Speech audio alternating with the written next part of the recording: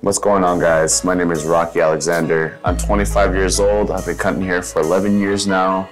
I remember when I first started out, like it was yesterday actually, I had asked my mom for a PS3 for Christmas and she actually got me a clipper kit.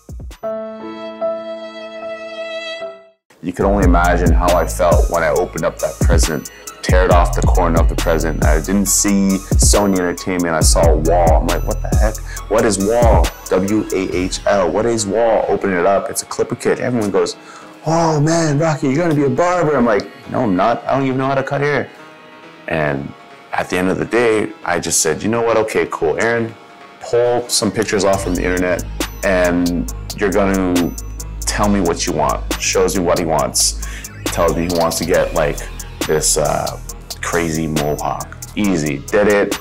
I felt good about it. I remember opening up the first location and it's been like the biggest power struggle. I remember cutting maybe like two guys a week making 50 bucks a week. Can you imagine making 50 bucks a week?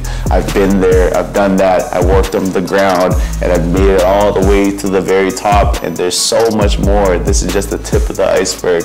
Francis found me on social media at the time on Instagram. I was posting pictures shamelessly on in living rooms, bathrooms, basements, you name it. And then I made my first debut into Cadmen back in 2013.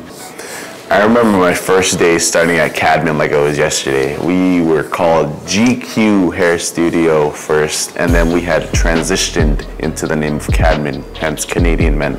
Um, I walked in, Francis was the first to greet me with all smiles and said, hey, nice to finally meet you. And he introduced me to everyone else in the shop. This whole entire crew is such an honor. Everyone here is such a gem. They're all genuine. Everyone is super talented. We all bounce ideas off one another. Uh, we all cut amazing. We've chased the best cut that we could possibly give you guys as clients every single time. And I'm more excited to be a part of the future.